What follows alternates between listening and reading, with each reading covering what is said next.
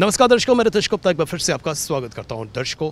इस वक्त कोविड 19 की जो सिचुएशन है, वो अलार्मिंग हो चुकी है। जी हाँ चारों तरफ़ से माहौल जो है, एक डर सा जो है, वो उत्पन्न हो चुका है। अगर हम हॉस्पिटल मैनेजमेंट की बात करें तो यहाँ पर प्लानिंग ना होने के कारण हॉस्पिटल की जो फैसिलिटीज़ हैं, जो पेशेंट्स को मिलनी चाहिए, वो प्रॉपर ना होने के कारण ऑक्सीजन किस सप्लाई जो है वो प्रॉपर ना होने के कारण या फिर हम कहें पूरा का पूरा ढांचा जो है प्रॉपर ना चलने के कारण जो है सिचुएशन अलार्मिंग हो चुकी है। पैनिक जैसी सिचुएशन जो है यहाँ पर देखने को मिल रही है। आपका नाम? पलक। पलक जी आपसे ये जाना चाहेंगे कि इस समय जो कोरोना को लेकर है क्या स्थिति है? क्या उससे कोई डर की स्थिति लग रही है? किस तरह से आप देख रही हैं इस समय कोरोना को? देखिए अगर कोरोना की बात की जाए तो ये एक तरह से बीमारी तो है ही है बट कुछ कहीं ना कहीं ये अब आज की सिचुएशन में जो है इसने पैनिक भी क्रिएट किया हुआ है। वो उसकी वजह ये हो सकती है कि स्टार्टिंग में पहले गवर्नमेंट ने काफ़ी ही ज़्यादा स्ट्रिक्ट एक्शन लिया था लाइक लॉकडाउन जो था वो पूरे अच्छी तरीके से लगाया गया था और उसको लोगों ने फॉलो भी किया था। अब कहीं ना कहीं गवर्नमेंट भी लीनियंट हो गई है और लोगों में पर ये इसलिए ज़्यादा डर बह लग रहा है क्योंकि जैसे कि देखा जाए कि हॉस्पिटल्स में फैसिलिटी जो है वो नहीं है।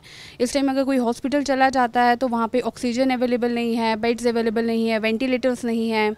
तो उस वजह से लोगों में ज़्यादा पैनिक हो रहा है, ज़्यादा ये परेशानी लोगों को आ रही है। जहाँ पे हमें ज़रूरत पड़ती है वेंटिलेटर की वहाँ लगाते हैं। जैसे आइसोलेशन वार्ड है सीसीयू है तो वहाँ पे जो वेंटिलेटर हैं सारे फंक्शनल हैं लेकिन ज़रूरत पड़नी चाहिए। आपके पास इस समय कितने वेंटिलेटर हैं? हमारे पास तो हंड्रेड ट्वेंटी फंक्शनल कितने हैं दो सौ दो सौ मैं कहता हूँ जहाँ पे ज़रूरत पड़ेगी वहीं फंक्शनल करेंगे ना। वेंटिलेटर का मतलब ये रहते हैं कि वेंटिलेटर ना मिलने के कारण कई लोग अपनी जान गंवा चुके हैं। ऐसा नहीं है। जो कोविड वार्ड में हमारे पेशेंट एडमिटेड हैं जिस पेशेंट को वेंटिलेटर की ज़रूरत पड़ेगी उसको ज़रूर लगाएँगे। लेकिन हर पेशेंट को वेंटिलेटर की ज़रूरत नहीं पड़ती। जितने पेशेंट हमारे पास होंगे ये वाले सीरियस पेशेंट उनमें से दो से चार परसेंट को वेंटिलेटर की ज़रूरत पड़ सकती है। ज़रूरी नहीं है एक वेंटिलेटर हमें हाई फ्लो ऑक्सीजन देते हैं और पैनिक तो हो ही रहे हैं साथ साथ साथ में ये भी कहने, ये भी है साथ में कि गवर्नमेंट का कोई रोल नहीं। अब आ रहा है। इसमें कोई कहीं ना कहीं जैसे डिस्ट्रिक्ट हॉस्पिटल्स हैं एक ही हॉस्पिटल के ऊपर सारी इन्होंने ज़िम्मेदारी डाली है। डिस्ट्रिक्ट हॉस्पिटल्स में कहीं कोई भी चीज़ की अवेलेबिलिटी नहीं है। वहाँ लोग जाने से भी डर रहे हैं एक तरह से। गवर्नमेंट से आप क्या अपील करना चाहती हैं और क्या चाहती हैं किस तरह का सुधार जो है हॉस्पिटल्स में होना चाहिए? देखिए सबसे पहले तो अभी फ़िलहाल जैसे कि डेथ रेट शो काफ़ी ज़्यादा बढ़ रही है। तो पहले तो शायद ये बड़ा ज़रूरी है कि लॉकडाउन लगा लेना चाहिए। एक तो सबसे पहले है कि गवर्नमेंट हॉस्पिटल्स में फैसिलिटी अवेलेबल होनी चाहिए। दूसरा ये कि अगर वो लॉकडाउन लगाते हैं, कहीं ना कहीं थोड़ी सी स्ट्रिक्टनेस करें तो जैसे कि आपको वेयर हाउस में या कनक मंडी में वॉल्ट्री लोगों ने खुद से ही लॉकडाउन जो है वो लगा दिया है तो ये भी एक ज़रूरी है करना। और दूसरा नंबर टू की डिस्ट्रिक्ट हॉस्पिटल्स लगा लीजिए या जीएमसी है या कोई भी ऐसा हॉस्पिटल है सारी जगह ऐसी फैसिलिटी अवेलेबल होनी चाहिए जो लोगों के लिए इजी हो जाए कि आ, हम उन्हें हर चीज़ प्रोवाइड हो वहाँ पर। एक स्पेशल डिवाइस आई है जिसको हम लोग हाई फ्लो नेजल कैनुला मतलब उससे वेंटिलेटर पे नहीं डालना मरीज़ को उस कैनुला से उसको अगर ऑक्सीजन देगा उससे बेटर रहेगा। और एक और आया बाईपैप सिस्टम उसमें भी वेंटिलेटर लगाना पेशेंट के फेस पे और नोज़ पे वो रख के हाई फ्लो ऑक्सीजन दी जा सकती है।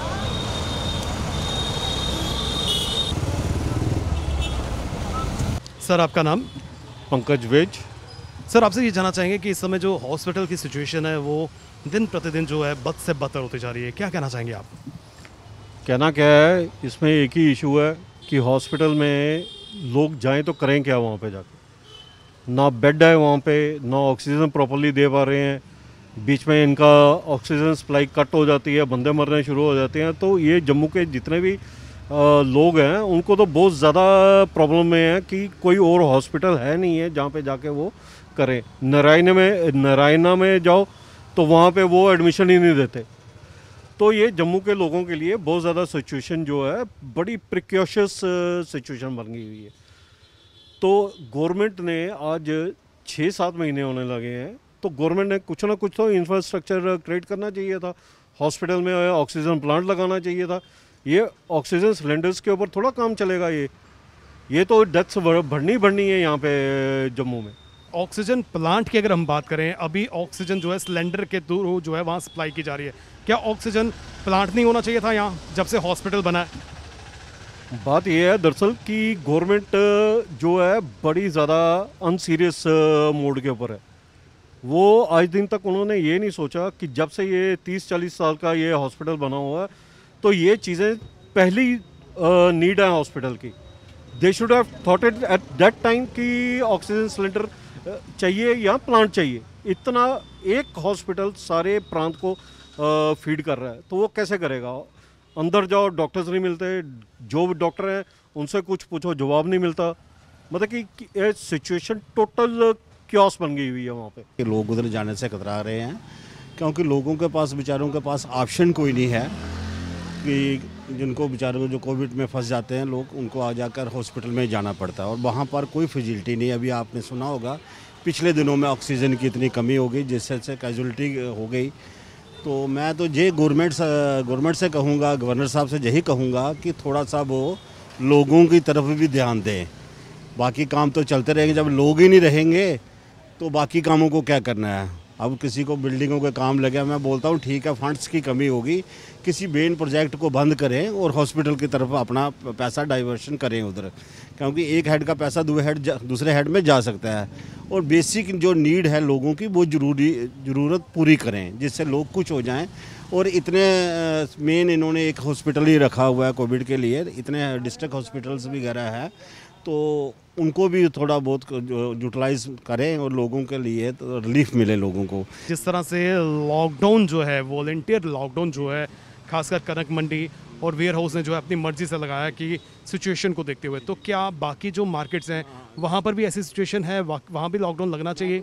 मैं तो यही कहूँगा कि जैसे वेयर हाउस वालों ने बड़ा अच्छा स्टेप उठाया। उन्होंने आपस में दुकानदारों ने मिलकर किया कि सैटरडे को हम बंद करेंगे, संडे को बंद करेंगे। ऐसे ही कणक मंडी वालों ने बंद किया। मैं बाकी मार्केट्स के प्रेसिडेंट को भी अपील करता हूँ कि वो भी ऐसा ही स्टेप उठाएँ और जो हमारा सात बजे का टाइम है, उसको पाँच बजे तक कर लें। पाँच बजे तक वैसे भी मार्केट में काम तो है नहीं है, बैठे रहते हैं, पाँच बजे तक टाइम कर लें और सैटरडे, संडे को ऑफ़ कर लें। लोगों को अवेयर होना चाहिए, डरने की इतनी ज़रूरत नहीं है बिकॉज़ ये एक फ्लू है, जिसे कोई कंट्रोल कर नहीं सकता है। हाँ लेकिन अगर बोलेंगे गवर्नमेंट हॉस्पिटल में जिस तरह की मेडिकल फैसिलिटीज़ हैं, वो फैसिलिटीज़ ना होने की वजह से लोगों में नॉर्मली डर लग रहा है। बिकॉज़ मैं जानता हूँ, मेरे एक दो दोस्तों के किसी रिलेटिव को हुआ था तो ऑक्सीजन सप्लाई की वजह से जो है, वो उनको वहाँ पर बेड नहीं मिल रहे थे।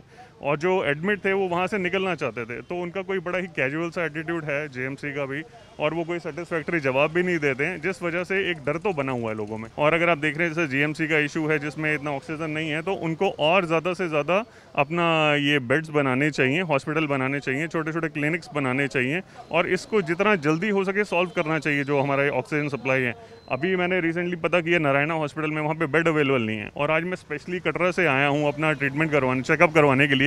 डॉक्टर्स ने वहाँ मुझे अलाउ नहीं किया है। तो आप ये सोचे मुझे पहले तो ये सौ किलोमीटर ड्राइव करके आना पड़ रहा है और हॉस्पिटल मेरे जो घर के बिल्कुल दस किलोमीटर पर है, वहाँ पर भी फैसिलिटीज़ अवेलेबल नहीं है। तो ये एक थोड़ा सा सीरियस इशू है। इस पर गवर्नमेंट को काम करना चाहिए और इनफैक्ट मैंने अभी श्राइन बोर्ड से भी बात की थी कि आपको ज़्यादा से ज़्यादा बेड्स बनाने चाहिए हॉस्पिटल्स बनाने चाहिए। कि यहाँ पर कोई 80 पेशेंट्स अभी हैं एडमिटेड जिनको ऑक्सीजन की ज़रूरत है और 800 सिलेंडर एक दिन में लग जाते हैं। तो 800 सिलेंडर तो दे रहे हैं ना? तो उसमें कभी कभी डिप कर जाती है ऑक्सीजन की सप्लाई अब वो डिप नहीं होनी चाहिए, वो कोऑर्डिनेशन बेटर होना चाहिए, उसके लिए काम कर रहे हैं, अभी हम मीटिंग कर रहे हैं इन सब की। दर्शकों, कोरोना की बात करें तो कोरोना एक ऐसा वायरस है जो इनविजिबल है। इनविजिबल होने के कारण जो है वो अपना प्रचंड रूप जो है वो धारण कर चुका है।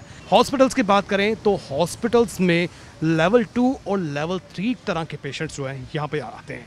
लेवल टू लेवल टू वो पेशेंट्स होते हैं जिनको ऑक्सीजन और टेबलेट जो है वो चाहिए होती है। वहीं दूसरी तरफ़ से हम अगर लेवल थ्री के पेशेंट्स की बात करें, उन्हें इंजेक्शन वेंटिलेटर और ऑक्सीजन जो है, वो चाहिए होता है। लेकिन हॉस्पिटल्स की बात करें जीएमसी की बात करें तो यहाँ पर ऑक्सीजन की कमी है वेंटिलेटर्स की कमी है। प्रशासन को एक कदम और उठाना चाहिए, प्रशासन को एक अपील करनी चाहिए और लोगों के सामने आना चाहिए और उन्हें बताना चाहिए कि इस घड़ी में वो उनके साथ हैं। पूर्ण रूप से जो है वो आम जनता का साथ दे रहे हैं, उन्हें अवेयर कर रहे हैं। उनका इलाज जो है प्रॉपर ढंग से किया जाएगा। लेकिन प्रशासन की यहाँ कमी नज़र आती है। प्रशासन की जहाँ जहाँ कमी है, प्रशासकों को अपनी कमी को जल्द से जल्द दूर करना होगा और हमारी आम जनता को एक राहत देने का प्रयास करना होगा। हमारी पूरी टीम को, दीजिए इजाज़त, फिर मिलेंगे। नमस्कार।